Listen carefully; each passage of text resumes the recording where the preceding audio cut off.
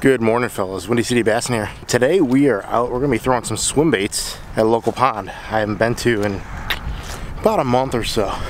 I've got two Huddlestons tied on, also a Senko.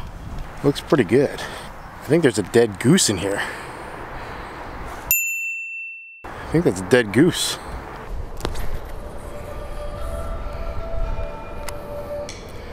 Haven't been out here in a while. All the weeds are dead.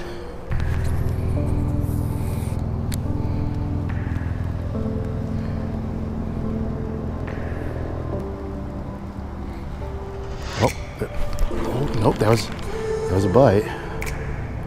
That fish missed it. He hit it.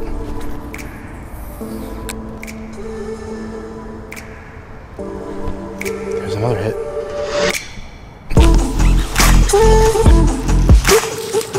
There we go. Oh, yes. Whoa, whoa, whoa, whoa, whoa, whoa.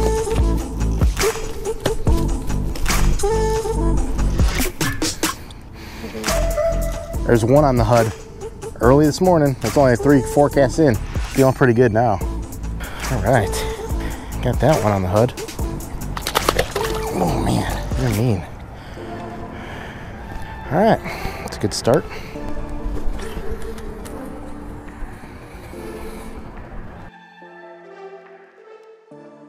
Let's switch it up to the bluegill Hudd for right now. See if that creates any uh, any different excitement here. That last fish was just munching on it. I waited on setting that hook. I mean, it, I couldn't tell whether he still had it or not. I kept feeling bite, bite, bite, but I couldn't I couldn't tell if he had it because I set the hook on the cast earlier and he, he didn't have it all the way.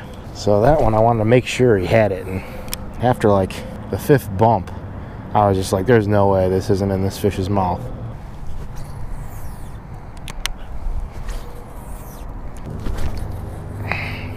I actually thought I would have had a couple bites by now, especially once I switched up to the bluegill. The bluegill has, has killed it in this lake before. I'm just crawling it along, slow reeling, super, super easy.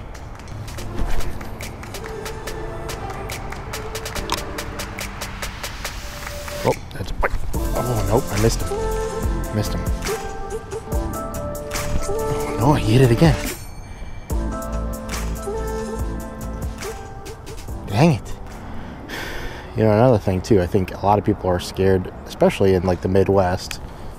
You know, I'm in Illinois, are scared to throw big swim baits. I mean, I've caught plenty of one, two pounders on pretty big swim baits. I mean, this is a, is it, a five or a six inch Hudd? I think I'm gonna move in a minute. This for sure is a dead goose in the water. And the plan for today is actually not to be here very long. I want to just kind of hop from pond to pond. Oh, I just spooked something in front of me. Oh, I just, oh, I just lost one. Oh, did you see that wake? He probably didn't see that wake. Dang. That was a, that was a good bite. Dang it.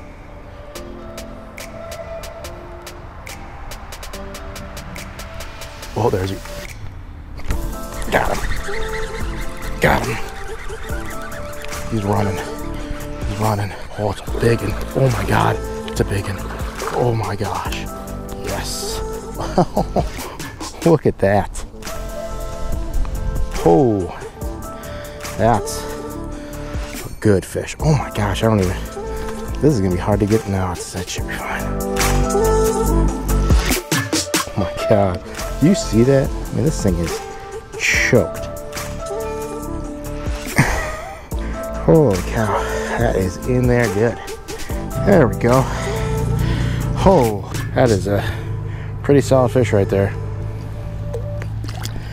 Whew. That was a nice one. Choked it.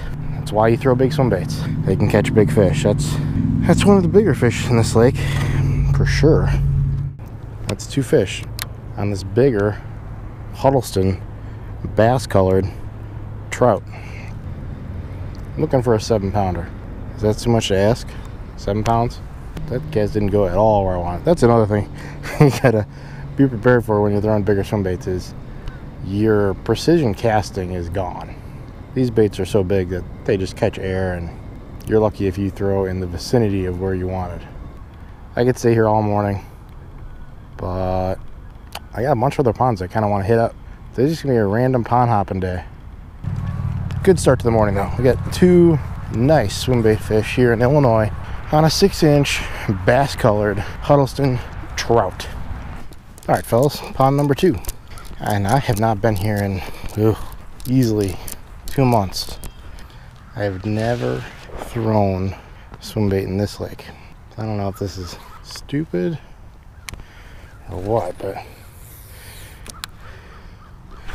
oh god. I just got hit the first cast. Hmm. This is just so weird. That first cast I get a bite and nothing since. Now I think this lake might be a bust.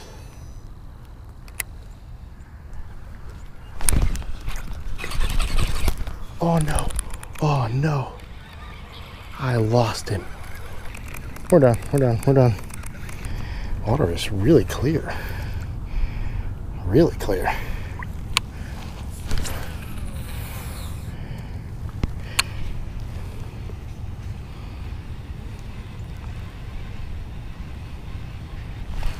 Oh, I just got cranked. Oh, you let go. Dang it. I was just about to set the hook.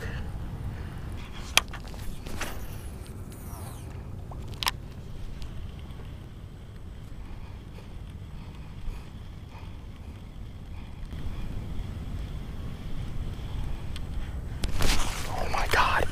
Huge bass. I just watched him hit it. Oh my goodness. I don't know how he missed it. I literally watched him hit it. He's probably maybe 15 feet in front of me. That was actually really cool. That one on the popper. Ooh, nice fish. That's a good one. You want to be on YouTube? Sure. All right. Well, it might be a little while. Nice fish. What's your name? Adrian. Adrian on a popper? Yeah. Sweet. All right. Nice fish.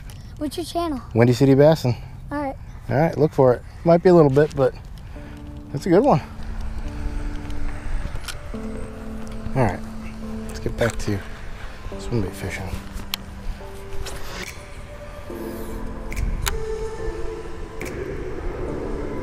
This is an absolute ton of scum in the water. It's crazy. But. Right there. Oh no, he just came off. Oh my god. Dang it. How did I miss him? Alright guys, well, I turned the camera off. I came back over here to this side and uh, got absolutely smashed by this over three pounder. Really interesting marks. I mean, got black spot on the tail, black spot on this side, multiple black spots. I mean, look at this black tail. That's really crazy. That's a that's a solid fish. And it's not skinny like the other one. This is definitely definitely pushing three three and a half at least.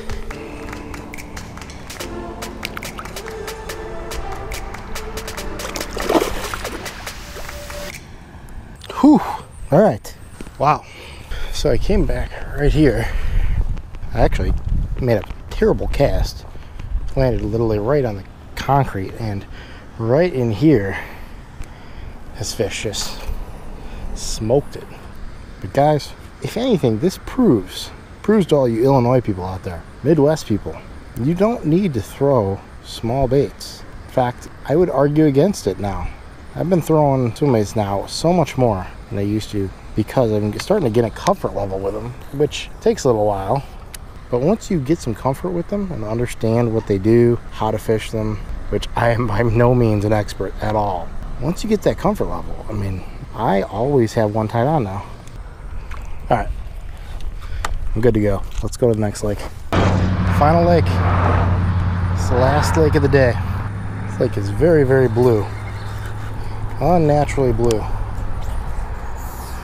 These are tire tracks into the water. And I can see a bunch of like holes right there where it looks like they dumped something.